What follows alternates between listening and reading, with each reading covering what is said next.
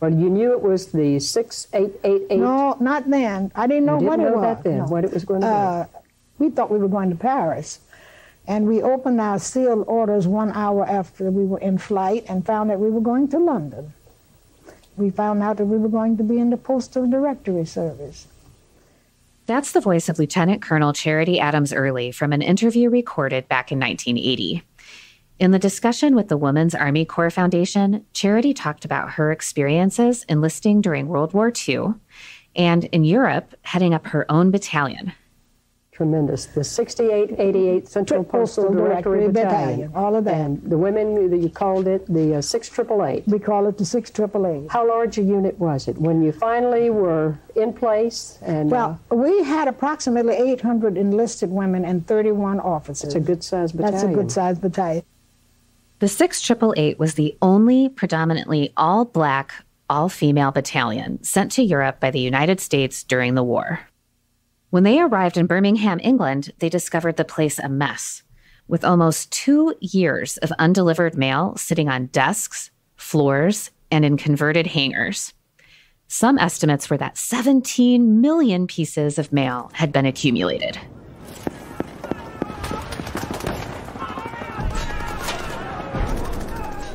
And when we arrived, the Battle of the Bulge, which was between December the 15th, 44, and January 15th, 45, had created an enormous backlog of mail. Just imagine millions of American soldiers and officers in the battlefields, risking their lives every single day. And for every one of those individuals, receiving a letter from a loved one could make all the difference to their morale. Charity Adams knew how important it was and quickly set out to make a difference. Our first job was to deliver the packages that had piled up and the Christmas mail that had piled up from Christmas 1944 that was still back there to get it up.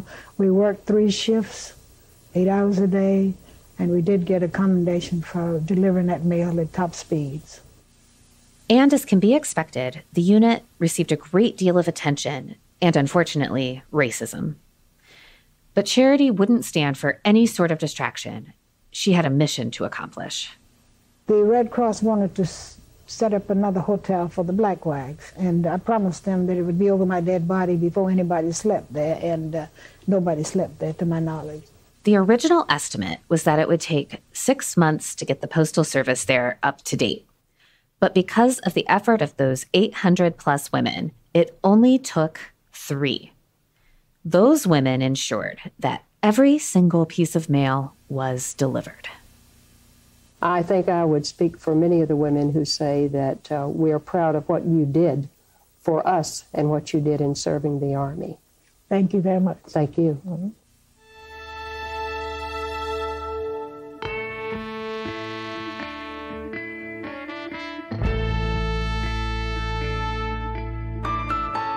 For decades, the exploits of Charity Adams and the 6888 Battalion were lost in the pages of history.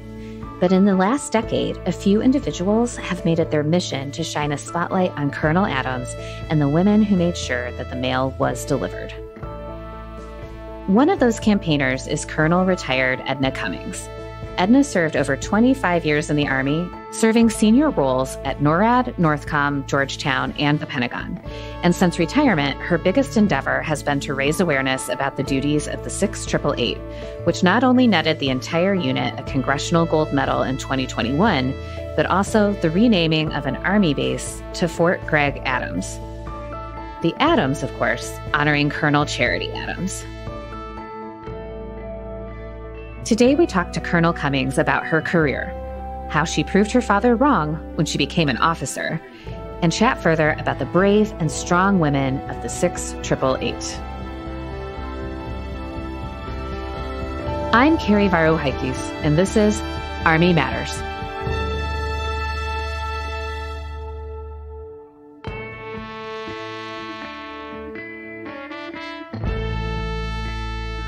Hello, everyone, and welcome to Army Matters. I'm Lieutenant General Retired Leslie C. Smith, the Army's former Inspector General.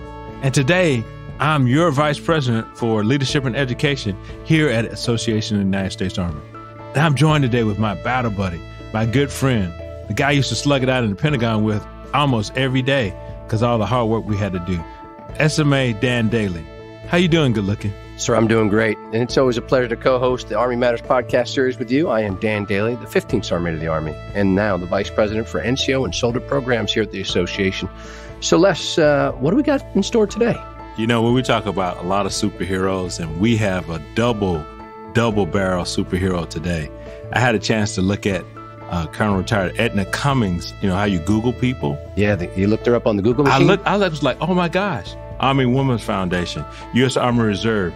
In addition to being a 25 year Army veteran, Army veteran, 25 years, serving at NORAD and NORTHCOM, Georgetown and the Pentagon. Have you ever done anything at Georgetown, Dan? I did a commissioning ceremony for the Yeah. cadets at Georgetown University. So Yeah. uh, that counts for something, doesn't it? Yeah, but I, I think she probably actually did some work at Georgetown other than just do a commissioning ceremony. Yeah.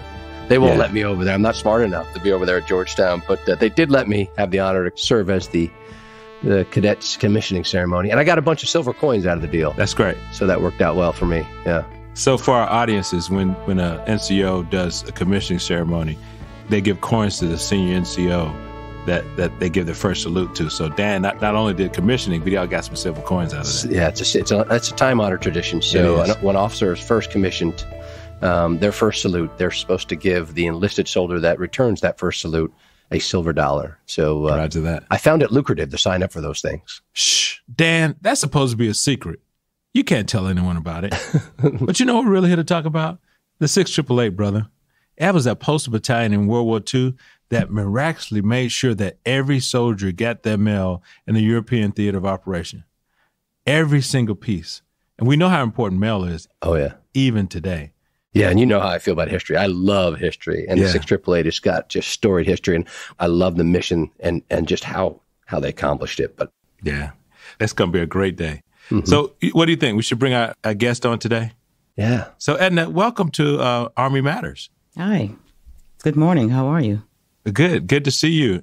We interview a lot of people, but I think you're one of our first guests that not only has done great things themselves, but we're going to talk about a great organization that you've you spearheaded their recognition.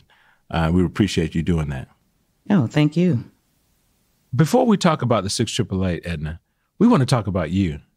Now, you grew up in an Army family, right? So, can you tell us a little bit about your father and what his expectations w- were for you? Were you supposed to follow in his footsteps? Oh, absolutely. Yeah, I was born at Womack Army Hospital at Fort Bragg, whose name Yeah. will soon be changed. So I've Yeah. always had an ID card. Yeah. I tell people I was born green. and then my dad, Sergeant First Class Willie Cummings, went to Vietnam as part of that first group of advisors and was severely wounded but survived. And then he went back in 69, but he also served in Korea. And when he was in Korea, he was part of the a segregated artillery unit. My father retired around 73, I believe, because we were in college about the same time. Everyone I was reading about, I would call him and says, uh, "Tell me what really happened in Korea during the Korean War when the artillery unit did something." He said, "Oh yeah, we bust a hole through, and you let you know we had the troops, you know, going through. They couldn't get it unless we had done it. It was segregated." So he would just tell me all these stories, and that sparked mm-hmm. my interest. But when I told him I was joining the army, he didn't want me to go in. He did not want me to join. But then when I told him I was going in as an officer, he acquiesced because he realized that I would have some opportunities that I may not have if I had just gone in enlisted. He didn't even think of the possibility of me being an officer until I told him, like, hey, dad, you know, women can join Army ROTC now. So, Edna, tell us, did you always want to join the Army? Well, it was a path I wanted to take until I did not want to take it. Okay. I went through Army ROTC in college at Appalachian State, Go Mountaineers, but that's another conversation. yeah. Well, we, we need to talk about it. I, I went to Georgia Southern, so you're our Oh, wow. arch nemesis. yes, I know, but we digressed. Okay. But yeah, I went to Appalachian State, and at the time, post Vietnam, a lot of anti war sentiment on campus. right. and just an overall resentment from a lot of the college professors about the military. But I was the only African American female in the ROTC class. Okay. There were other females in ROTC, but I was the first African American female to receive a commission from Appalachian State. And once I started, other African American women uh, joined the program. Okay. So when I came in the Army, it was very restrictive for women. It was a mindset that you are still here to support the combat units. Back then, it was combat support. Mm-hmm. We could not join combat arms, only combat support. So I became a logistician. Okay. And my first assignment was at Fort Rucker. It was a combat heavy engineer battalion, which was interesting because women could not be assigned to combat units, but we could be attached. Okay. So, combat heavy for everybody is a large engineer equipment that did a lot of road work, a lot of bridge work, a lot of all those things. So that that was interesting because there were no other females in that battalion. Okay. And it was it was tough, but I have to thank Doc Bonson. He was the aviation brigade commander who just opened doors. He provided me that top cover and said, if you need anything, call me. And I'm a second lieutenant. So when a colonel says, hey, call me if you need something, you know, I was naive. Yeah. I didn't know. Right. But the lesson learned from that was when you put people in a situation when they're the only, I don't care what only you are, they need some support and top cover. Right. And that's what Doc Bonson did for me. And I'm forever grateful. I actually sent him a note uh, not too long ago and he wrote me back. He was a tanker, aviator, and imposing. Okay. But he was one of the most effective and kindest person I ever met. He taught me how to cuss, and you said I couldn't cuss on this, but um, no, you can't. he, he, basically said you need to toughen up. You know, he he would give me some candid responses to share. But I'm a second lieutenant; I didn't know, right, but right, I, I'm forever grateful to Doc Bonson. Edna, you went on to have an amazing career in the Army. But let's talk about something else. In the last few years, you've devoted an incredible amount of time to raising awareness of the 6888, the all female, all black Postal Directory Battalion. Now, can you kind of set the scene for us? I mean, things like what were the conditions like for the battalion when they first arrived at the war? The 6888 uh, was a unique unit. And so in 1942, the Army opened its ranks to women.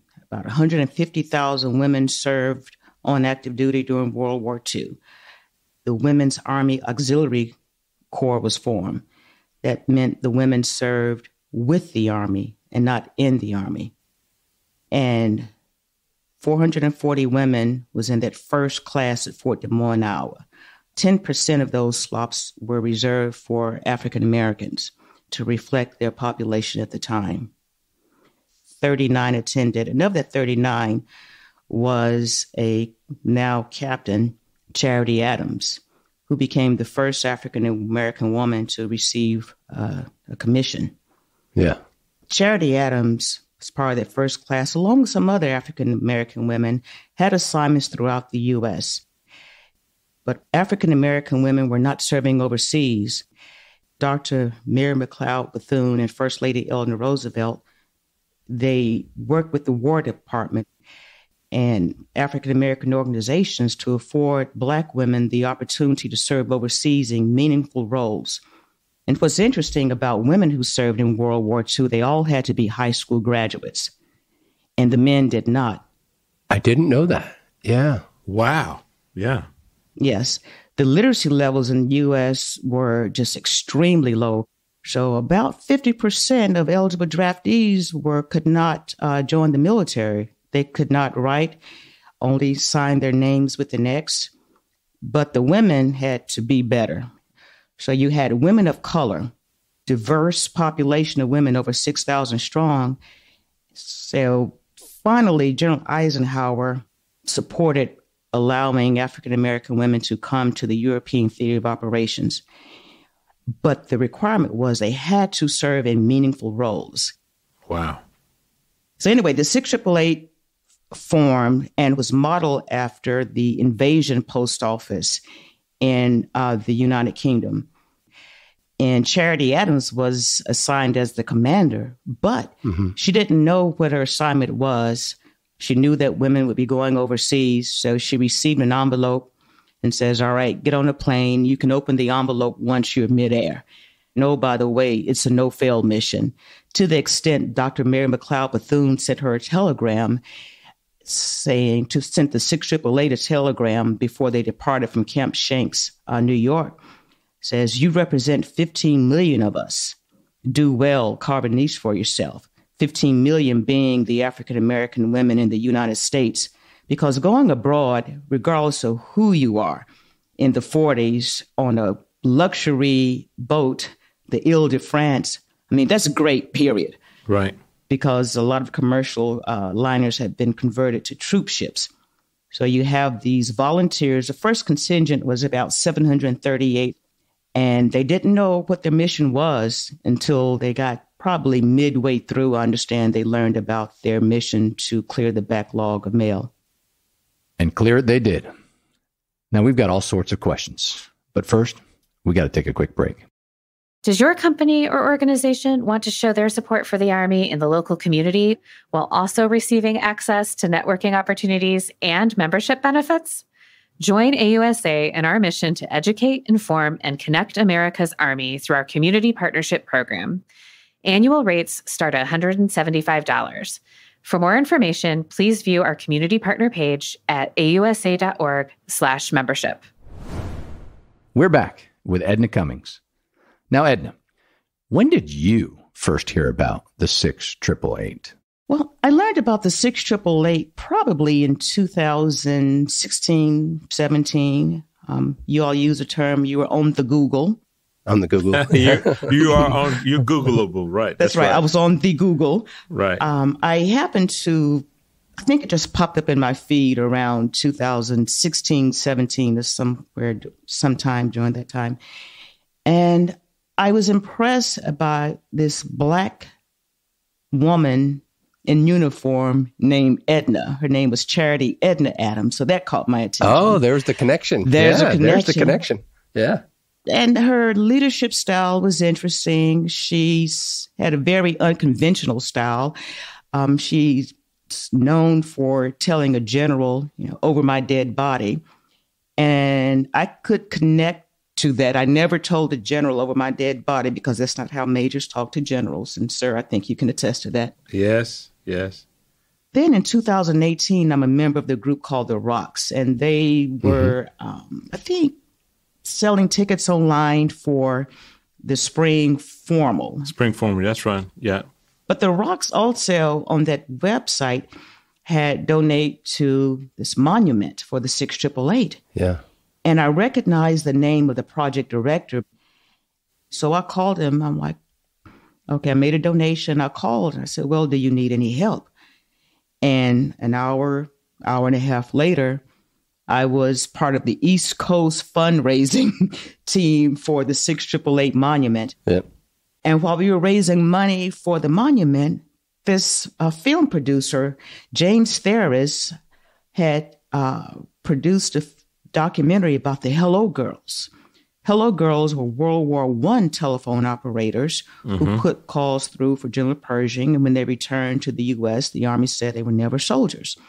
So he contacted our fundraising team and says, I'd like to do a documentary because there are similarities. You have women restoring vital communications in theater and nobody and nobody honored them once they returned. Very similar. Yeah. We wove the story together. Now, also, while I was working on the monument, the documentary, again, James Theres, he says, Why don't you uh, introduce Congressional Gold Medal for the 6888? And he says, Yeah, we did it for the Hello Girls. Apparently, a congressional staffer had attended one of the docu screenings for the Hello Girls and thought it would be a good idea to introduce uh, legislation for the Hello Girls. And so I'm like, okay. Again, relying on Pentagon Staff Officer 101. Says, well, give me a template and basically, I drafted the legislation, which is a statement of facts, but the facts have to be so compelling until members of Congress have to read it, says this is something I can support. Mm-hmm. So the smartest person on Capitol Hill was Senator Jerry Moran from Kansas. Uh, Senator Moran attended the monument dedication in November 2018. He was very familiar with all the work that uh, the project director had done to erect these monuments. And he talked about how the 6888 kept his family together. His father was in World War II. His mom worked at a J.C. Penney store. And Senator Gwen Moore from Wisconsin introduced that legislation. She was a classmate of a young lady whose mom was in the 6888 from Wisconsin. So you had wow. two people who were very connected to the 6888, and that's what we needed. That's amazing. For our listeners out there, we're not going to have time today to tell the, the incredible story of the 6888. But what I, I invite you to do is research it. Just take a moment and you will be inspired about what these women did. They're definitely Googleable. I just found a video. Yes, and not just in one location. Yes, all across the theater. That's uh, right. Uh, there in the European front. Um, they just did incredible work. But Edna, can you talk about two of the members of Six Triple Eight that you felt a connection with, and, and share their fascinating story, please? Because of D Day preparations, Battle of the Bulge, the mail had been piled up for two to three years. I read one article where the 255th Port Company uh, that landed uh, at Normandy, you know, part of that first wave, had offloaded 130,000 bags of mail, 3,600 tons alone. The 6888 was assigned to do just that, reduce the backlog of mail.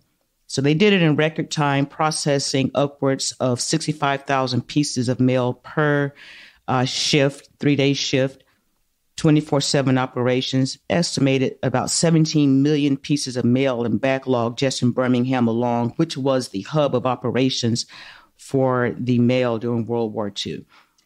When we started working with raising funds for the monument, approximately about 14 women or so still alive. Now there are six women who are still alive. The youngest is 99, the oldest turns 104 this year. Wow, that's amazing. Some of the women, some of the stories that stuck with me. One in particular is Vashti Murphy Matthews. Matthews is part of a family that's well known, I would say, throughout the world, because her father was a co publisher of the Afro newspaper. And at the time, the black press was so crucial to World War II. The Pittsburgh Courier uh, started a campaign known as a Double V campaign victory abroad, victory at home for rights, because this was still Jim Crow America. So Vashti Murphy, her father owned the newspaper, and the Afro newspaper sent war correspondents to the European theory of operations. And I didn't know that there were African American war correspondents in theater. The other story is one of my favorite, Major Fannie McClendon. She's still alive in um, Arizona. Major McClendon was a first lieutenant in the Army with the 6888. When she returned to the U.S., she said she received some mail from uh, the Army, says, Hey, you want to come back in? So she went to the recruiter, and apparently the Air Force recruiter and the Army recruiters were there together. So she ended up joining the Air Force when, at the beginning, when the Air Force became a branch in 47 and retired in 1971. Wow. As a major in the Air Force. And I'm pretty sure she has to be one of the first women officers in the Air Force and she married uh, someone else who was in the military. So you have this dual military couple in the 50s and 60s where you just don't think of dual militaries. But some of the women in the 6888 joined because their fiance was serving in the European theater. And we have documentation of marriages occurring, you know, abroad uh, during World War II with the 6888. And I think the 6888 was so successful because they were some of the best and brightest in the nation, um, considering the literacy levels, their experiences abroad. I mean, the Army changes you. It taps inside leadership skills that you don't know you have. Yeah. And I can say you don't know your skills and talents until it's time to use it. And I think under the leadership of uh, Charity Adams, She had to be a Mensa. She triple major in math, Latin, physics when she was at Wilberforce. Now, hold, hold on now. You got to say that again. Triple major. Math, Latin, and physics. Yeah, she's a triple math, Latin, and physics as an undergrad at Wilberforce. When she joined the Women's Army Auxiliary Corps, she was in graduate school at Ohio State for vocational psychology. Wow. Making lieutenant colonel in what, three and a half years. It takes a little bit longer now. Yeah, it does. She married a fellow officer, I mean, a fellow soldier who was brilliant, someone they met at Wilberforce, and he was enlisted but had a was gifted uh, with languages. Mm-hmm. So he was a POW interpreter. He was fluent in French, uh, and because of segregation, he had to go to school and medical school in Switzerland. So Charity Adams got off active duty, followed him to Switzerland while he's in medical school. She took courses. This is in the 40s, mm-hmm. something that you don't even think about. So they settled in Dayton, Ohio, mm. eventually. And um, Dr. Early is a legend within himself. I mean, his story, the Army Times, I think, just did a good story a piece on him about yeah. the Earley family. So you can learn more about uh, Stanley Earley and Charity Earley post war as well as during the war. You know, we have like 20 more questions, but we can really ask only one more. So, what's the proudest thing that you've done about enhancing the legacy of the 688? What would you say that one thing is? I believe the Congressional Gold Medal, because what the Congressional Gold Medal does is secures the 6888's place in history. The first recipient of the Congressional Gold Medal was in 1776, and that was General George Washington before he became president. And since 1776, less than 200 uh, Congressional Gold Medals have been awarded uh, to institutions or individuals who have contributed to this nation be it culture, leadership, or just an array of areas. And the 6888 is the only military women's unit to receive this honor. Wow. World War II, uh, the contributions of African American women were deleted. I would not say they were invisible. I challenge any of our listeners to look at any World War II movie, historical information, you will not see anything, at least I haven't seen anything, about Black women serving in World War II, where we had nurses, aid workers, members of the Women's Army Corps, and the Air Force was part of the Army. So, you know, I'll remind our Air Force listeners. But no one ever talked about Black women serving in World War II. So, just on that alone, I think bringing this story of the contributions of women of color during World War II to the forefront has been very rewarding. And the conversation continues. Actor Blair Underwood is working on a Broadway bound musical. There's a Netflix movie uh, being released sometime soon. People are now beginning to talk and highlight the service of African American women and women of color who were unrecognized who served during World War II. Yeah, that's good. The greatest generation that no one ever talked about. Now, Edna, we were both able to attend the renaming ceremony for Fort Gregg Adams. And I know Lieutenant General Gregg personally. And for me, it made me really feel a sense of pride and, and understanding who he is and where he came from. How did you feel when you saw Charity Adams' name up there? Well, I felt if speechless is a feeling, and I'm going to make it one because I almost it was numbing. I didn't know that was a possibility. And in retrospect, you never know who's listening, watching, or paying attention. I didn't know that Charity Adams' name had been submitted until later. So our efforts, just talking about it with passion and earnest and sharing these stories, and regardless of the effort, you never know who's paying attention. And so if speechless is a feeling, maybe numb. I I'm still trying to process it, and I don't I don't want to pay too much attention to it because it paralyzes me. Like this is really happening. And I feel you. I felt the very same way. So, see, Dan, what did I tell you, brother? We're talking to a superhero that's elevating other superheroes. Well, did you all learn something? I mean, that's that's I'm that inner teacher in me. Uh, what did yeah, you all? I'm, I'm taking a lot of notes. Look at Yeah. look at all that. Oh look at all well. that.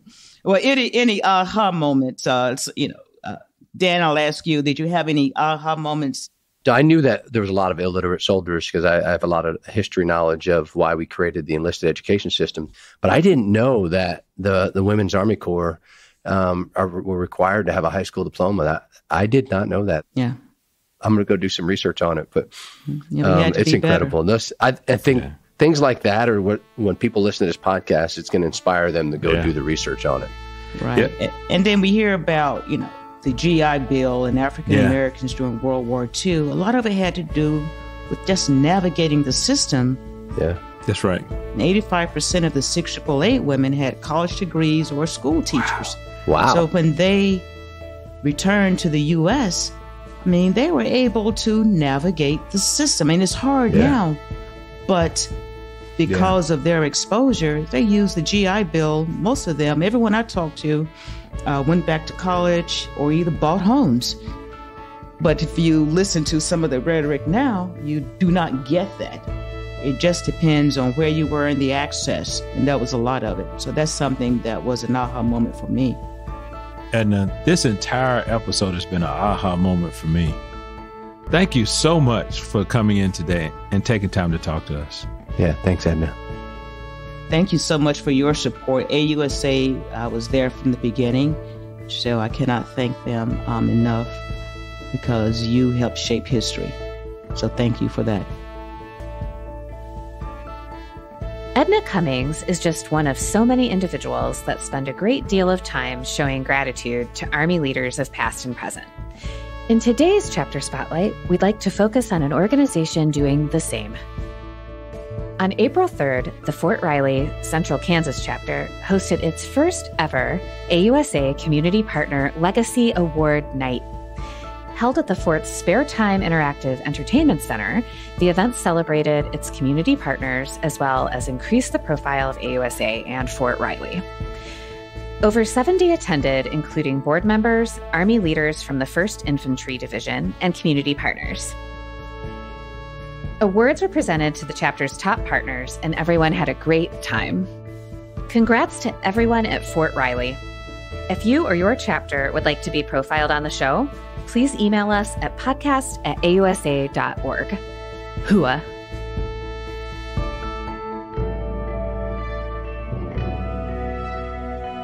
To all our listeners, thanks for joining us.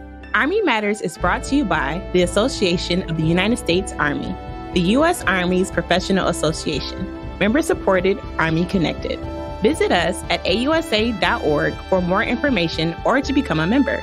Your membership helps AUSA continue to carry out its mission, educate, inform, and connect with the total Army, our industry partners, and supporters of a strong national defense. Today's episode was hosted by Lieutenant General retired Les Smith and SMA retired Dan Dailey, and anchor hosted by Carrie Barrow Heckes.